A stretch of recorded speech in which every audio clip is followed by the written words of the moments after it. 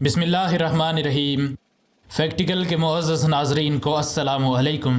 ناظرین محترم، بھارت نے ایک بار پھر سے پاکستان کے فضائی سرحدات کو پامال کرتے ہوئے اپنا ایک اور جنگی کوارڈ کاپٹر بھیجا، لیکن ایک بار پھر سے بھارت کو ناکامی کا سامنا ہوا۔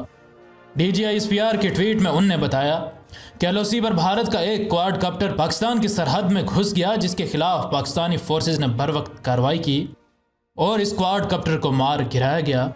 بارڈر پر ایسی دراندازی ہندوستان کے اس جنگی جنون کی غماز ہے جو کسی صورت نہ تو کم ہو رہا ہے اور نہ ہی ٹھنڈا ہو رہا ہے۔ آئی ایس پی آر کے مطابق یہ ڈرون پاکستانی سرحد کے اندر ڈیڑھ سو میٹر تک آ گیا تھا، جس کے بعد اسے پاک فوج کے جوانوں نے نشانہ بنایا۔ ڈرون کو ایک نظر دیکھا جائے تو یہ ایک سپائی کوارڈ کپٹر ہے جس کو ہندوستانی فوج جاسوسی کے لیے استعمال کرتی ہے۔ ہندوستان نے جاسوسی کے لیے اس کوارڈ کاپٹر کو استعمال کیا۔ جس سے یقیناً وہ بارڈر پر موجود ہماری فوجی انسٹالمنٹس کی جاسوسی کرنا چاہتا تھا۔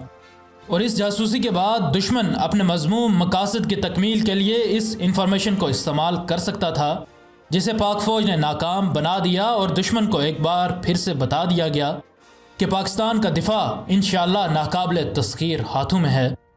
D G I S P R کی طرف سے شیئر کی جانے والی تصاویر پر غور کیا جائے تو اس کوارڈ کاپٹر کے روٹرز بری طرح ٹوٹے ہیں۔ جو کہ کوارڈ کاپٹر کی گرنے کے بعد ٹوٹ سکتے ہیں، لیکن سرخ تیر کے نشان سے دکھائی جانے والی B L D C motor پر غور کیا جائے تو سمجھ آتی ہے کہ اس کوارڈ کاپٹر کو اسی جگہ پر ہٹ کیا گیا ہے۔ ہندوستانی آبدوز کیسے تباہ ہوئی اس بارے میں بھی ہم نے ایک ویڈیو بنائی ہے، جس کا لنک اس وقت سکرین پر آ رہا ہوگا۔ آپ اس لنک کی مدد سے وہ ویڈیو بآسانی دیکھ سکتے ہیں۔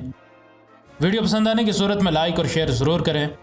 اور اگر آپ ایسی ہی معلوماتی ویڈیوز دیکھتے رہنا چاہتے ہیں تو ہمارے چینل کو سبسکرائب کر لیں اور سبسکرائب کے بٹن کے ساتھ گھنٹی کے نشان کو دبانا نہ بھولیں تاکہ ہماری ہر نئی آنے والی ویڈیو تسلسل و تواتر کے ساتھ آپ کو موصول ہوتی رہے۔